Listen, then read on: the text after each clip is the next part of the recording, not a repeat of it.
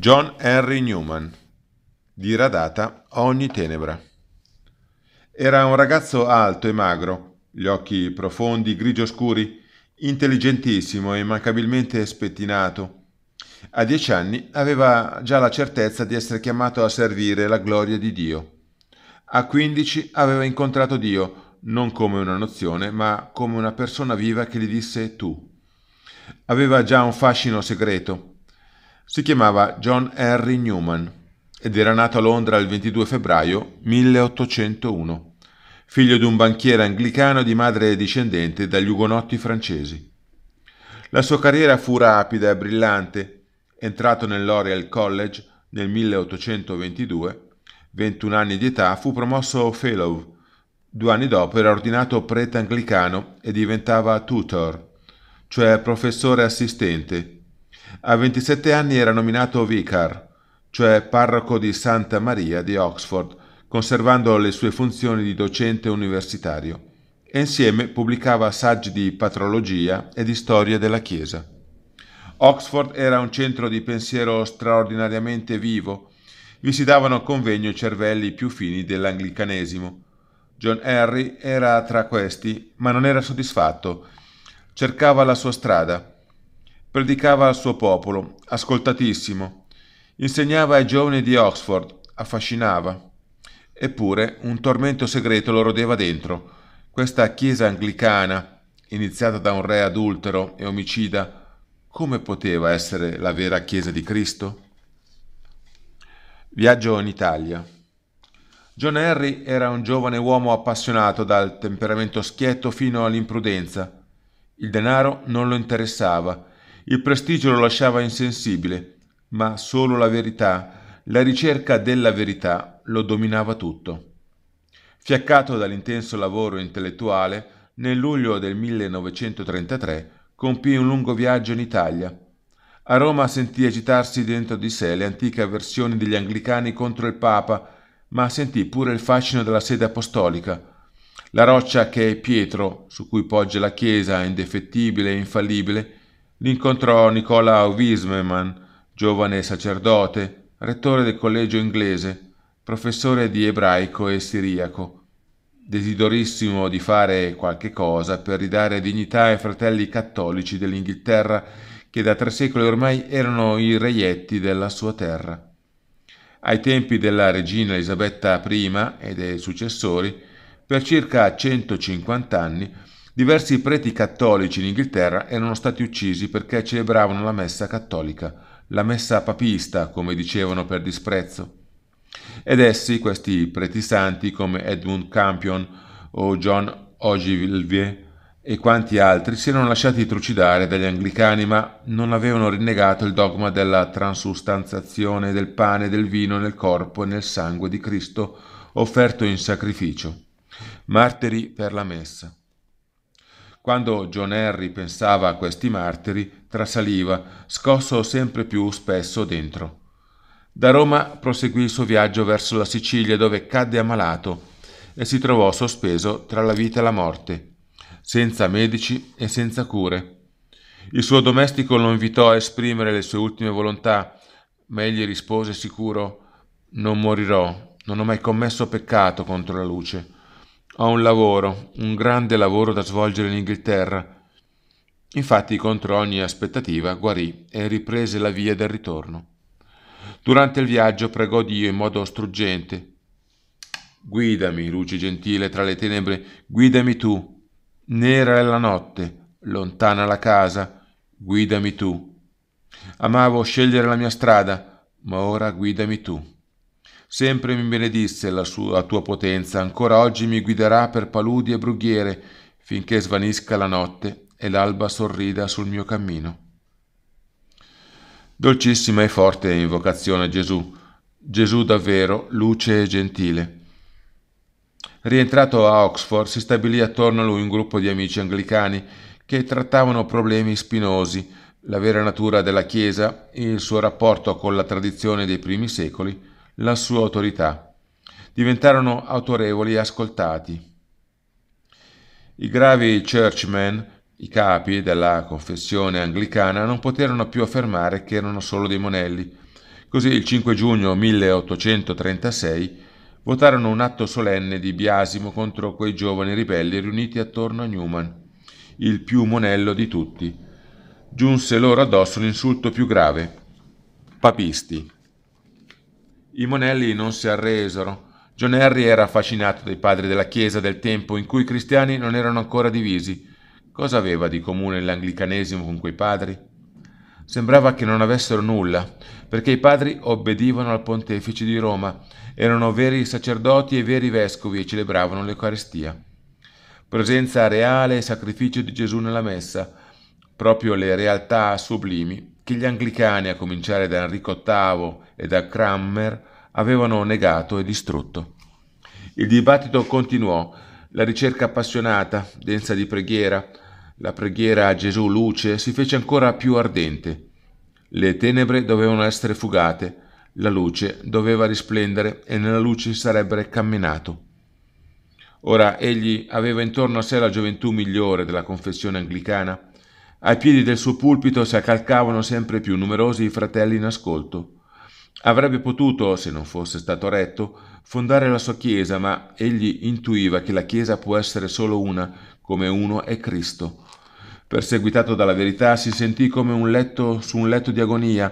Si ritirò a Littlemore, sconfessato dai vescovi anglicani, perché lo si vedeva era sempre più vicino al cattolicesimo. Il 24 settembre 1843 salì per l'ultima volta il pulpito della sua parrocchia rivolse rimproveri dolorosi e severi all'anglicanesimo, chiese ai suoi amici di pregare per lui, affinché potesse compiere la volontà di Dio. Disceso dal pulpito si tolse di dosso i paramenti e li gettò sulla balaustra a indicare che tra lui e l'anglicanesimo non c'era più nulla. La sua nomina a prete anglicano, come a tutte le nomine di preti e vescovi anglicani, non era valida, non era vera, come già si sapeva e avrebbe definito chiaramente Papa Leone XIII con l'apostolica cure. Non era ancora cattolico, ma certamente non era più anglicano. Sono entrato nel porto. Nel silenzio meditò ancora a lungo e trovò risposta alla domanda che si poneva. La Chiesa cattolica di oggi è proprio quella degli antichi padri dei primi secoli, Ignazio, Irineo, Ambrogio e Agostino? Come mai nella Chiesa cattolica sembrano esserci realtà che sembravano non esserci nei padri? La luce. Gesù, luce gentile, venne a grandi ondate. La Chiesa cattolica è la medesima uscita dal cuore di Gesù, la medesima dei martiri e dei padri antichi, ma è come un albero che crescendo si è sviluppato, restando tuttavia il medesimo da Cristo fino ad oggi. Lo scrisse nel suo saggio sullo sviluppo del dogma 1845. Poi chiese di essere ammesso alla Chiesa cattolica. Il 9 ottobre 1845, nella pace di Littlemore, John Henry Newman, nelle mani del padre Domenico della Madre di Dio, passionista, pronunciò la biura dell'anglicanesimo diventò cattolico apostolico e romano. Scrisse Fu per me come entrare in un porto dopo una crociera burrascosa la mia felicità non ha confini. Gladstone, il primo ministro britannico, commentò Mai la Chiesa cattolica, dopo la riforma protestante, ha riportato una vittoria più grande. La conversione di Newman fu un avvenimento. Parecchi suoi intimi amici lo imitarono immediatamente. Se lui, perché non io? Alcuni amici lo avevano preceduto di qualche giorno, altri lo seguirono, come Faber, che divenne un grande maestro di vita cristiano-cattolica.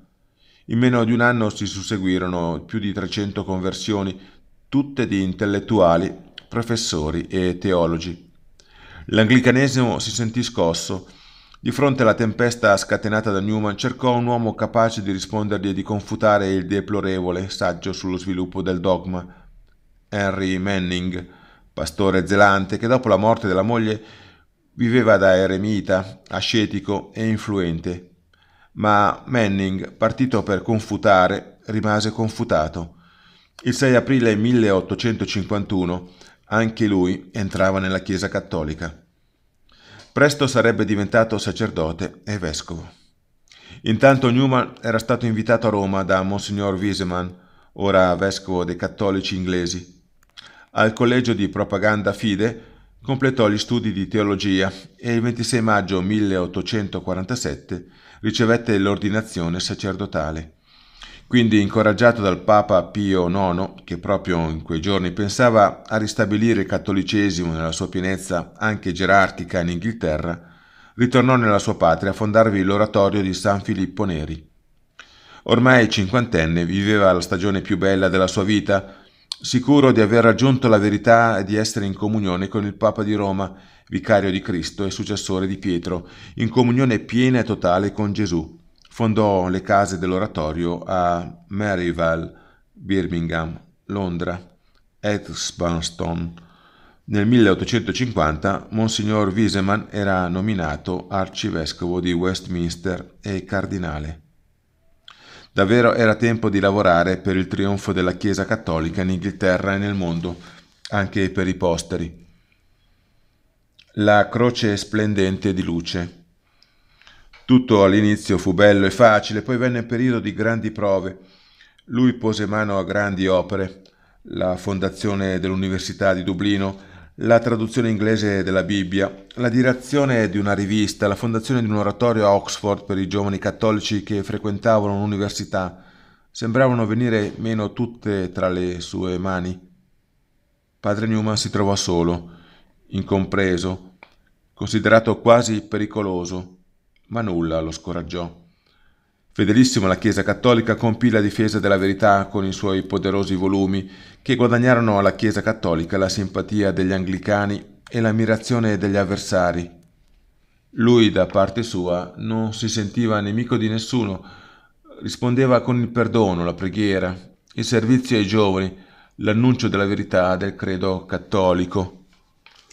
Nell'oratorio di Birmingham dove viveva si occupava della formazione dei ragazzi con uno stile di bontà e di amorevolezza di San Filippo Neri come sarebbe piaciuto a un umile e grandissimo contemporaneo, Don Bosco, che per conversione degli anglicani, sostenuto dal piccolo Domenico Savio, aveva pregato, sofferto, operato presso il Papa Pio IX. Ma sembrava essere un dimenticato, brillavano ora quei convertiti, Faber, Manning, Ward, cui egli aveva aperto la strada. Nel 1864 capitò che il dottor Kingsley, in un opuscolo, tacciò i cattolici di ipocrisia, aggiungendo che i preti cattolici sono dei bugiardi. Padre Newman insorse con tutta la forza del suo genio, spiegando tutti i motivi della sua conversione al cattolicesimo. Nacque il suo capolavoro, l'Apologia pro vita sua, in cui scriveva nella Chiesa cattolica riconobbi immediatamente una realtà nuovissima per me. Sentii che non ero io a costruire una Chiesa con lo sforzo del mio pensiero. Il mio spirito allora si quietò in se stesso. La contemplava, la Chiesa, come un fatto obiettivo di incontrovertibile evidenza. Fu un grande trionfo che fece risuonare per tutta l'Inghilterra il nome di John Henry Newman. Non era più possibile accusarlo di doppiezza e di slealtà.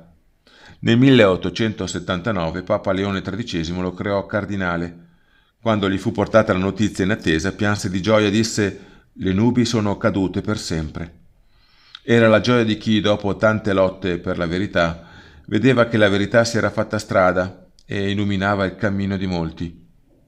Visse ancora undici anni nel suo romitaggio di Birmingham, in due stanze colme di libri, pregando, irradiando luce e guidando le anime alla verità. I suoi libri, le sue conferenze, la sua opera di educatore rivelarono dovunque il suo genio interamente posseduto da Cristo. L'11 agosto 1890 il cardinal John Henry Newman, diradata ogni tenebra, andava incontro al suo Dio, la luce gentile, che aveva sempre guidato i suoi passi, mai aveva peccato contro la luce. Sulla sua tomba volle scritto solo il suo nome e la rapida sintesi della sua esistenza ex umbris ed imaginibus in veritatem, dalle ombre e dalle figure alla verità. Ora il grande cardinale Newman, per volontà e per bocca del Papa Benedetto XVI, nell'ottobre 2010 è salito alla gloria degli altari con la sua beatificazione. È il Cristo verità che oggi nel relativismo dilagante deve essere annunciato e fatto conoscere in tutto il suo splendore e nella sua grandezza per guidare ogni uomo alla verità piena e totale nella Chiesa cattolica, unica Chiesa di Cristo.